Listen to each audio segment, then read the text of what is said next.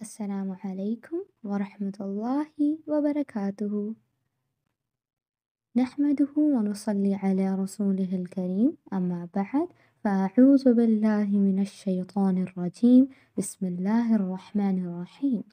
حديث number 27 قال رسول الله صلى الله عليه وآله وسلم إن الصدقة لتطفئ غضب الرب. Charity extinguishes the wrath of the Lord. Jamia Tirmizi 664. Dear children, we have learned about charity before and have known that charity is not only giving money to the poor but also doing good deeds. Each act of charity cools down Allah Rabbul Alameen's anger. Remembrance of Allah by saying La ilaha illallah spending money on the needy, having patience, helping others, saying good, kind words, preventing evil, and giving time to the debtor are all forms of charity.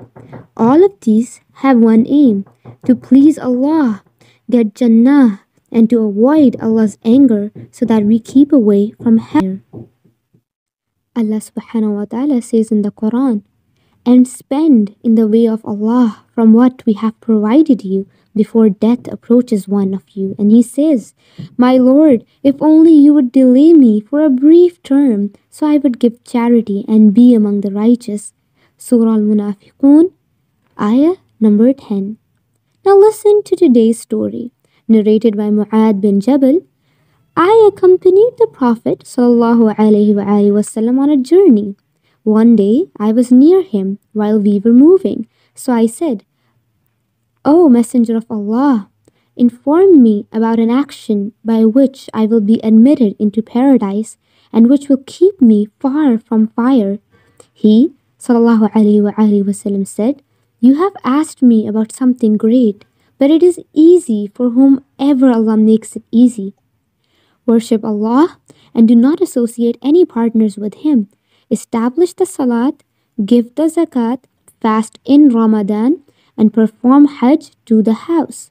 Then, Sallallahu Alaihi Wasallam said, Shall I not guide you to the doors of good? Fasting is a shield, and charity extinguishes sins like water extinguishes fire. Jamia Tirmidhi 26 1 6. Practical learning. Number one, hasten to give charity. Number two, don't consider any minor good deed small because each good deed is a charity. Number three, sometimes by mistake we make our parents angry. If our parents are angry, that means Allah is also angry with us. Now we need to do two things.